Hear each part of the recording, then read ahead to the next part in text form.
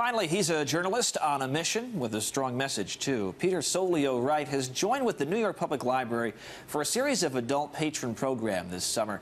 The topics, uh, they range from financial literacy to LGBT hip hop and a whole lot in between.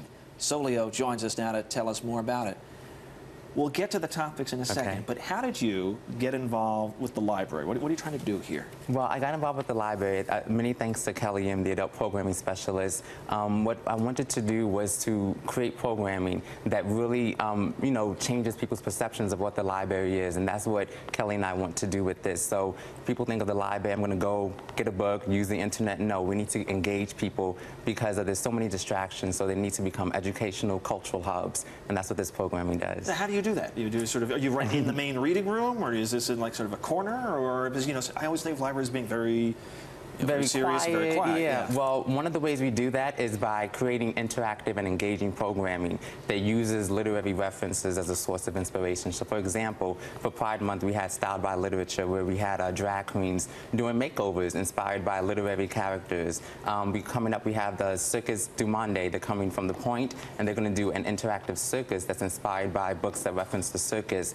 So, creating these programs that engages the community, it shows them that books can come alive, and you can have a great experience by, with, with them. You, ha- you have a very personal connection to how you kind of got into into this. Tell, tell me about Yes, m- my well, I have so many inspirations. Um, one of my main inspirations is my mother, who is deceased now, and of course my brother Glenn Spoof Wright, and uh, he inspired me more on the sort of artistic tip, which is where I'm coming into as a curator with my upcoming uh, exhibition, What Emerge.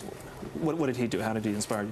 Yeah, he inspired me because Glenn, uh, he was such a phenomenal person. He was really on the cusp of emerging himself. So he was, uh, he did um, photography. Um, he was always taking pictures around the house. So he did a lot of that. Um, he also drew on his skateboard, and he was becoming an artist. And unfortunately, his life was taken before he could fully blossom in that role. Is, is it difficult as, as you know, as, as someone who's trying to create art or create something, create a presentation, when you have something as- as as that, Yeah. does revisiting it help in that way? You know what I mean? I mean, does this mm-hmm. somehow help with the pain that you must feel? Definitely. It's cathartic because the only option, you know, there's so many people in New York City, especially who are uh, crime victims, you know, families like the Mothers of Harlem, that organization. So you either you wallow in despair, you decide, you know what, I'm going to use the light and inspiration of the person that I lost and use that for, you know, for me starting to do something positive in the community. So that's definitely a source of inspiration. I feel like I have angels, you know, on each side of me, my mom and my brother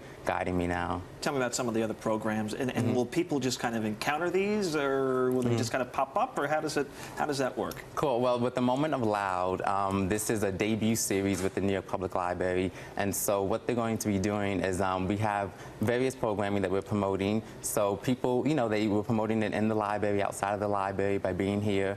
Um, we also have a juice making workshop, which is coming up. So they can get, you know, it's hot outside, right? It's a heat wave. You got everything going on. Yeah, so come inside to the, come inside the library and uh, get some juice, free juices, and learn how to make free healthy drinks inspired by books such as um, like Water for Chocolate. We're also going to have a gong concert in Harlem. Um, a lot of people don't associate African Americans with gongs, but Washu Aten is an awesome, you know, gong player. Man, we have come a long way from the card catalog, which is something we used to have back in my day. I'll tell you about it when we go Yeah, I don't know air. much about Real- that. Computers weren't always around. So, Leo, it's so nice to have you. Thank you for, uh, thank so you for much. sharing part of your holiday with us Thank you so much. And